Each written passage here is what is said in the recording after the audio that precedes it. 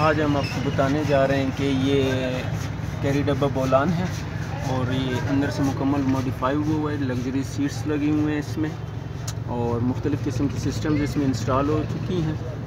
जैसे कि आप देख सकते हैं कि बहुत अच्छी कोशिश इसमें की गई है। सीट्स इसमें जो है बेहतरीन किस्म की बनाए गए हैं। छत इसका मुकम्मल तौर पे मॉडिफाई हुआ हुआ है।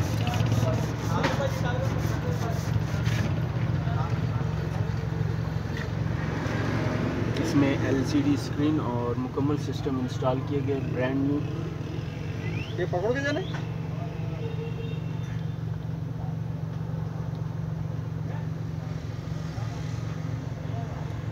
और मुकम्मल किस्म के इसके गते भी मॉडिफाई किए गए। ये इसकी फ्रंट है। फ्रंट के डोर ऑटोमेटिक हैं।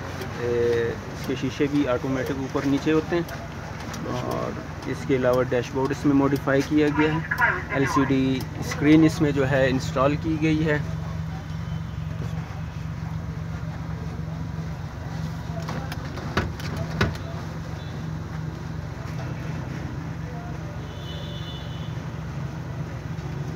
और मुकम्मल तौर पे मॉडिफाई की गई है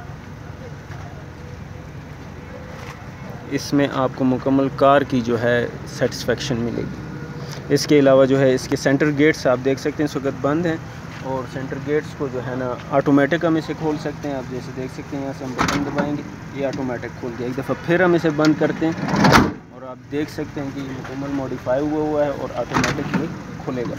अब खोल के हम इसके अंदर के नज़ारे देखते हैं कि मज़ीद इसमें क्या कुछ है। एलसीडी स्क्रीन के साथ जो है यहाँ पर हमें मुकम्मल एक लेविश किस्म का जो है ना एलसीडी प्लेयर हमें मिलेगा। जिसे हम पुश बटन के साथ ऑन करेंगे।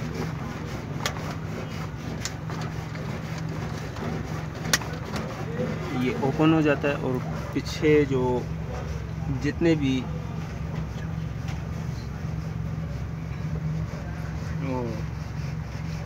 इसमें चारों तरफ़ जो है मोबाइल चार्जर भी लगे हुए हैं। अगर आप अपना मोबाइल चार्ज करना चाहें तो फोर साइडेड जो है ना, साइड्स पे इसकी मुकम्मल जो है ना आप मोबाइल चार्ज भी कर सकते हैं।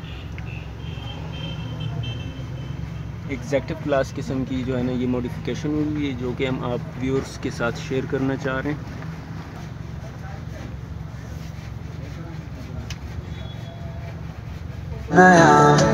सानू एक पल सजना तेरे बिना सजना तेरे बिना।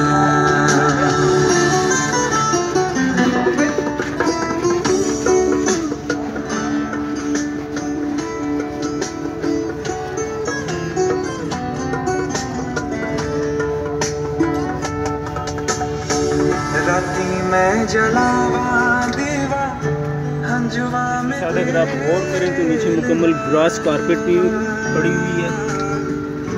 ग्रास कारपेट का जो है ना अपना इफ़ेक्ट इसके ऊपर पड़ता है, जो कि मुकम्मल फर्श जो है ना फ्रंट एंड बैक एंड पे जो है ना मुकम्मल डला हुआ सानू एक पल चैन वे सानू एक पल चैन वे